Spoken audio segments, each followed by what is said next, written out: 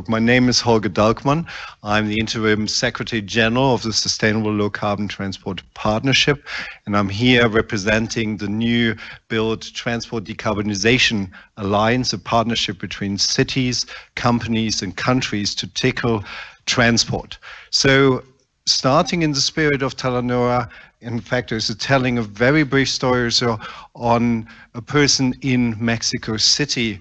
Um, her Marta. She worked um, far outside the city, had to change five times to get to her work, two and a half hours in a way uncomfortable uh, situation. And um, suddenly, so the city of Mexico really also took action in many areas, but particularly improving also the bus system, which changes her lives by creating also a clean, affordable, efficient transport system, which is called the bus rapid transit, which we see around the world.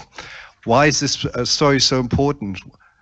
Transport is about also people, and transport is about all people. And uh, but currently, what we're seeing that 1.2 million people is die because of road fatalities. 7 million people is suffers from air pollution, and the reason here is particularly on transport and climate change and we have 25% of the CO2 emissions is coming also from transport. It's the only sector, in fact, also is, is substantially growing around the world, and we need also to, to, to tackle that. And so the alliance is actually working with cities, companies, and and and and countries. And um, to so you talked about and asked about it as a vision. It's really about taking urgent actions to so make transport affordable in an efficient manner for all in a clean uh, in a clean way. So we want countries also to step up. Currently, just 8% of the countries also have a sectoral target on transport. So with a comprehensive action plan and um, for example, our partners in uh, France, in Portugal, in Finland are also taking also comprehensive action here.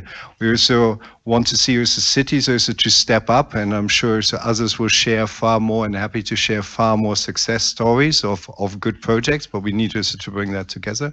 And also we see also companies bringing in also new products. We see a bike revolution in China, we see uh, new public transport solutions, and particularly also clean vehicles on passenger and on freight.